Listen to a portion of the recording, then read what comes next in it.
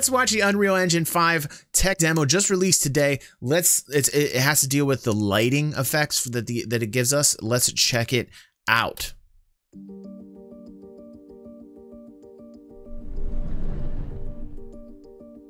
Hello, I'm Brian Karis, Technical Director of Graphics here at Epic Games. Hi, I'm Jerome Platteaux, Art Director of the Special Project. A few years ago, we got together as a team and brainstormed where we thought we could push forward the state of the art in real time graphics there were two key areas that stood out. The first, dynamic global illumination, beautiful bounce lighting instantaneously. I don't have to be constrained to do a game where the world has to be static, and I'm able to iterate a lot faster. And we call this new system Lumen. And we're about to show you what it is capable of. But first, there was another area that we thought we could push forward truly virtualized geometry. The artist wouldn't have to be concerned over poly counts, draw calls, or memory could directly use film quality assets and bring them straight into the engine. And that's a big deal for artists. I just want to be able to import my ZBrush model, my photogrammetry scan, my CAD data. For artists, ZBrush is a program they use for, especially in the lighting uh, aspect of design. And uh, what he's saying is like he, he wants to just go in and easily get what's inside his head out onto the digital canvas. And and he's saying that this engine and the Lumen technology it, it it possesses makes it easier for him in ZBrush, which is going to be huge in the in the gaming industry. Without wasting any time optimizing, creating LODs, or even lowering the quality to make it hit frame rate. In the end, that's what it's all about. Art that just works. And we call this new technology Nanite.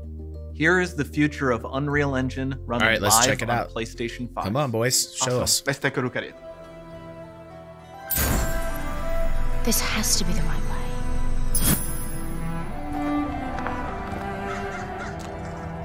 Looking pretty good right there.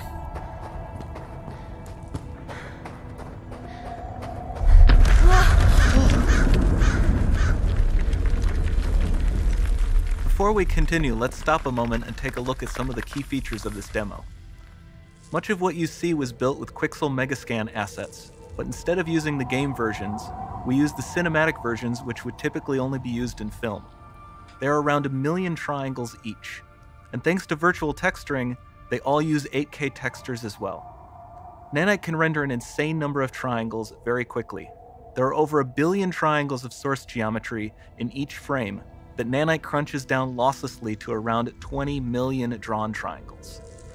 Okay, so it's basically taking a, a billion vertices or triangles, polygons, and and each at each frame compressing them into 20 million, which is an amazing amount of data and uh, and GPU and CPU processing power.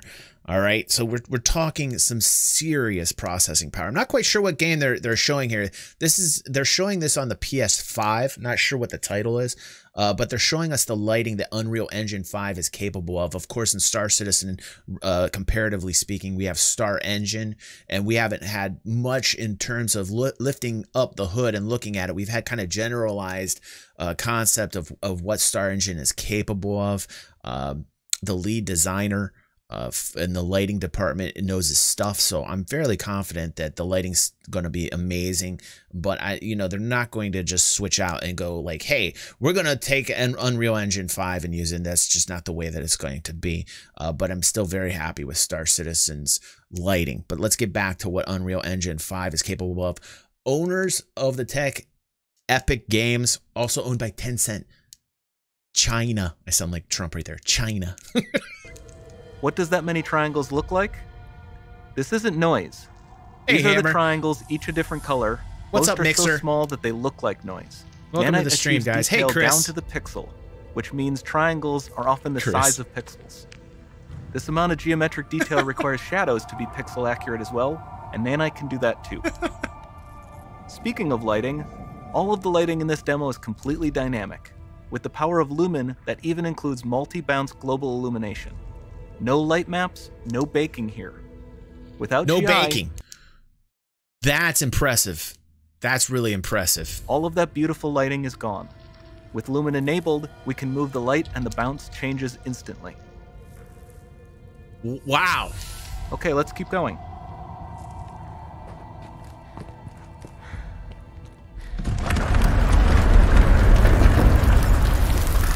We've made some great additions to our audio system as well. Convolution reverb allows us to measure reverberation characteristics of real spaces, like actual caves that we sample. pretty and fluid to me. them in virtual spaces. Sound field rendering allows us to record and playback spatialized audio.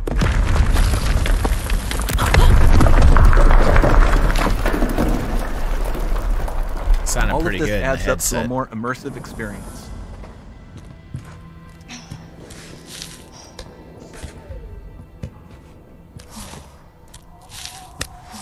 Look at the look at the shadowing.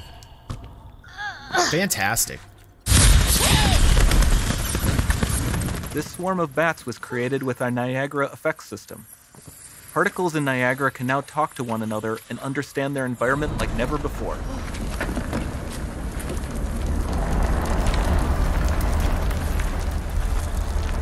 We've also added a ton of new functionality to run fluid simulations like you see in the water below.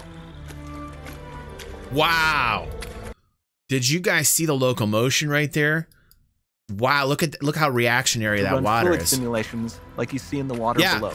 And this was running on a PS5. By the way, the new updated consoles, the whole industry is trying to compete with PCs. Consoles realize that PCs are going to be the death of them. So they're kind of seeing what the demand is and, and increasing the console price to see what that bar is. Eventually, the moms and dads are going to say, no, Timmy, you can't have the PS70 because it costs $1,200. There will be a limit, the ceiling to what a console can be. But the consoles coming out are, are really trying to compete with PCs. I don't think they'll ever get there. PC Master Race, just saying. But look at this water. Woo! Did you guys see that? Really? Did you see artifacts? Maybe I gotta zoom in. My eyes aren't that good, but I mean, the, the water is pretty reactioning. The demo I'm waiting for rivers. I'm waiting for rivers in, in Star Citizen. on our chaos physics system. Here we are using it to accurately simulate the rigid bodies of the falling rocks and the cloth of her scarf. The, sh- the shadowing's fantastic.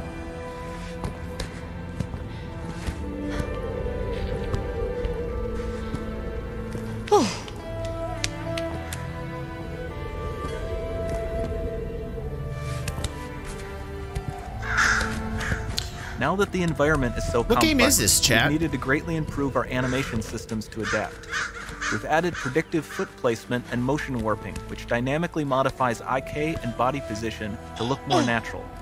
For the character to more realistically interact with the environment, we've added the ability to trigger seamless contextual animation events, like her hand on the door. Looks promising.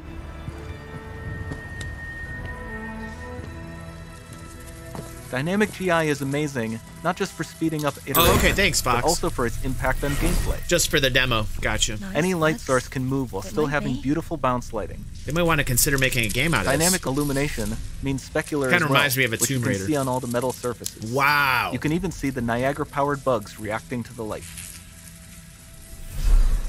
Lumen not only reacts to moving light sources, but also changes in geometry.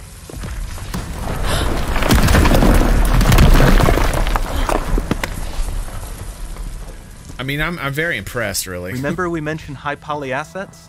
This statue was imported directly from ZBrush and is more than 33 million triangles. Hammer. Hold on. We're, thank you, Hammer, for that financial support, bro. Short break here by Hammer. Thank you, Hammer. Appreciate you, dude. No baking of normal maps, no authored LODs.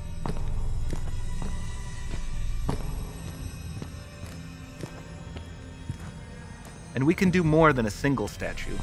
There are nearly 500 of that exact statue at the same detail level placed in this room for a total of over 16 billion triangles from statues alone.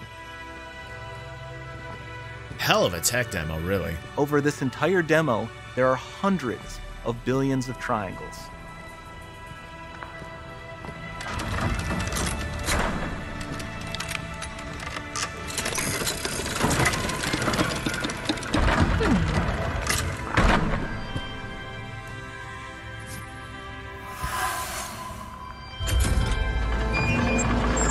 Wow.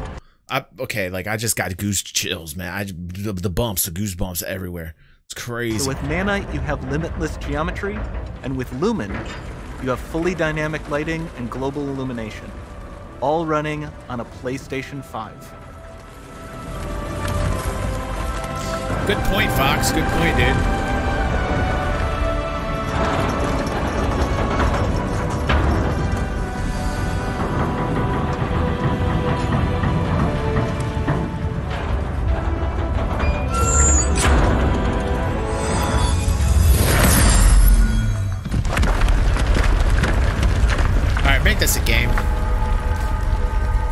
Sold. Make this a There's game right now. much time left. And this doesn't need to be constrained to small rooms. It can stretch all the way to the horizon. Yeah, like the in chat right now for people going to watch this in the future on YouTube, the chat's saying the FPS is low.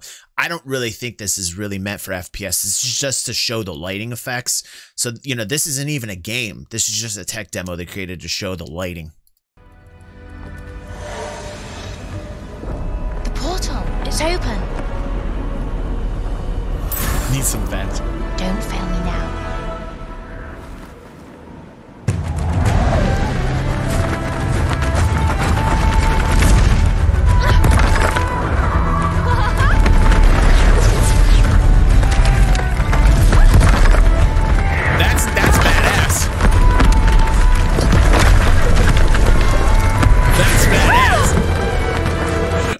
What you say right now, guys. Like that's badass. That was pretty badass.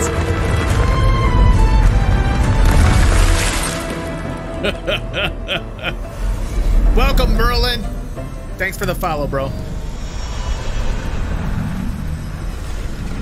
It's time to see what's next.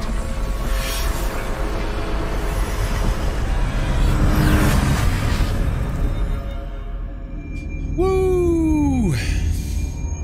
All right, so you know some of the things that I went over this morning when I was talking with um, Seer was essentially this this engine. You know, because people were saying, well, "What do you think, DG, about this engine compared to you know uh, what what Star Citizen has?" And like I said this morning, and you can catch a little bit of on the podcast. As I was saying, I was confident in Chris Campbell's abilities. He's the lead uh, lighting designer over at Star Citizen, um, and he knows his stuff when it comes to light design in the real. You know, like when it comes to light design in the real, this man knows what's up. And I'd rather have somebody who's involved with the real lighting in terms of design in the real world focusing on this. Now, what the engine is capable of is a completely different issue.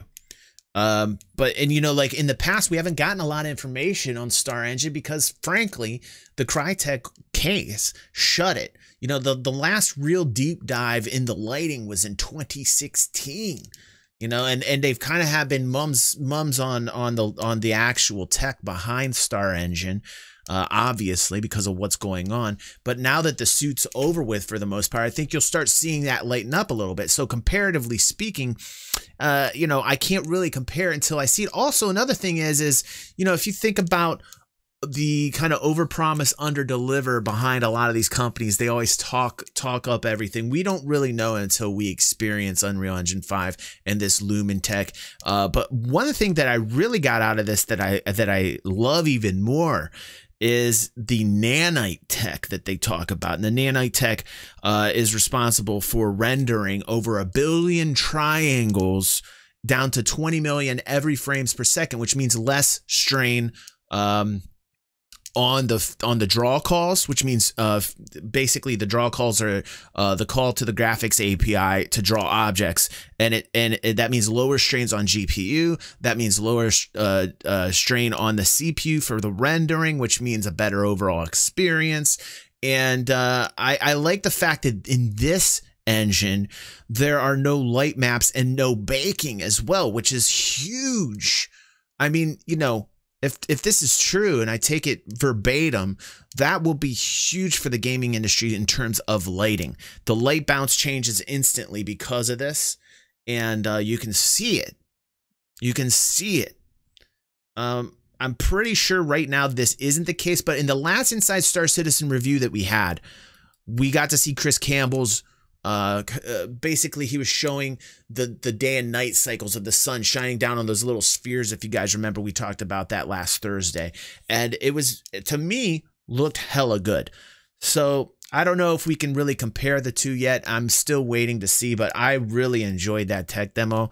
And i hope i hope that you know, as the game evolves, they'll employ some of this. Star Engine's always evolving. This isn't static. You're going to see uh, changes in in the engine itself as time moves on. And so, you know, in a game like Star Citizen, I know that Chris Roberts and the people behind Chris Roberts, uh, uh, the work at Cloud Imperium, his employees are going to try their best to keep up with the latest tech. It's just it's just part of what's going to end up happening. It really will. Somebody sent me this in Discord.